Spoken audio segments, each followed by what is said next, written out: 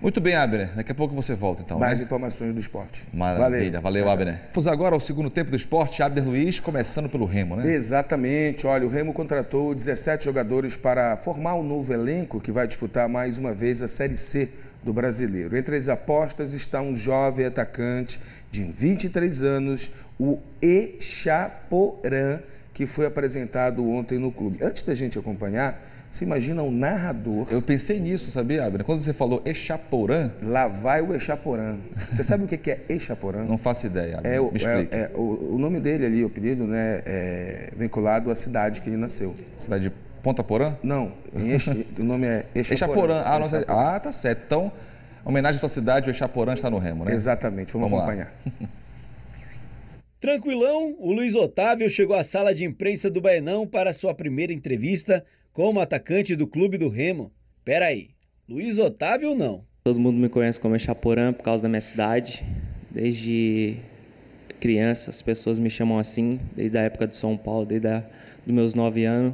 E assim ficou como Echaporã. Carrega o nome da cidade aí.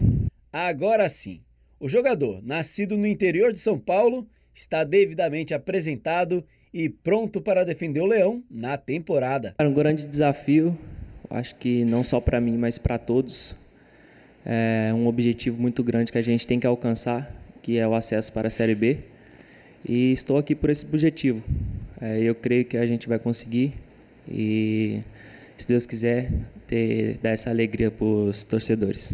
Echaporã passou pelas categorias de base do São Paulo, Figueirense e Atlético Mineiro, que detém os seus direitos. Ano passado esteve emprestado ao Juventude, que subiu para a Série A. Só que ele esteve em campo em apenas sete partidas. Cedido ao Remo nessa temporada, o jovem atacante de 23 anos vislumbra a chance de atuar mais e, por isso, não vê a hora de estrear com a camisa azulina. A gente se prepara para isso, para jogar e creio que está perto de poder estar estreando. Espero conseguir ajudar da melhor forma. Estou aqui para isso. Estou aqui para trabalhar para o Remo. Então, estou com um pouquinho de ansiedade sim para estrear. É, estádio cheio e creio que vai dar tudo certo. Mas o que o torcedor pode esperar do Echaporã? Eu sou um cara muito veloz, é, de drible, finalização e muita garra. Eu acho que o torcedor do Remo gosta muito disso, de, de dar o máximo, de se entregar. Então, esperar muito deixar por isso. O jovem atacante vai ter que provar tudo isso em campo, ciente do compromisso que é vestir a camisa azulina. Eu joguei alguns times de Série B e creio que isso, é, o Remo não merece estar na Série C. Pela estrutura, pela organização, pelo clube que é, o Remo está de parabéns. Ah, então te esforça e coloca o leão lá, né, Márcio? Olha, o Echaporã, aí eu estava dizendo né, que, esse, que o, o nome dele remete à, à cidade que ele nasceu, né? De repente o telespectador disse, mas onde é Echaporã? Eu fiquei com medo do Márcio me perguntar isso, que eu também não sabia. Aí a gente fez uma pesquisa muito rápida aqui com os universitários. Echaporã fica a 400 e alguma coisa de quilômetros da capital São Paulo, fica lá então no estado de São Paulo, mais próximo ali do Mato Grosso do Sul. Tem uma população ali de 6 mil habitantes.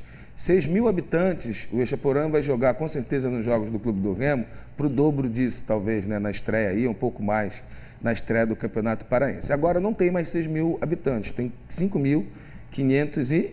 Não, 5.999, né? Mas parece que vai nascer alguém hoje à tarde lá, vai votar por 6 mil, já que o filho da terra está morando aqui em Belém. Brincadeiras à parte, é uma aposta do Clube do Remo, é um jogador que já atuou na Série B do Campeonato Brasileiro, desce para a Série C.